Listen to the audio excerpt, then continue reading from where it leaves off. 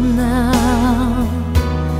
Maybe I dream too much, but when I think of you, I long to feel your touch, to whisper in your ear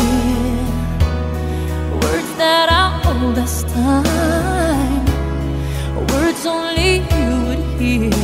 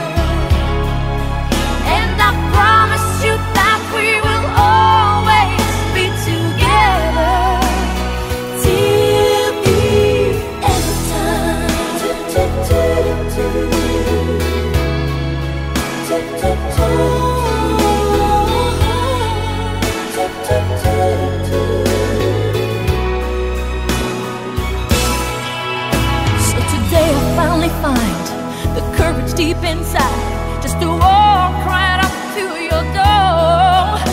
But my body can't move when I finally get to it. Just like a thousand.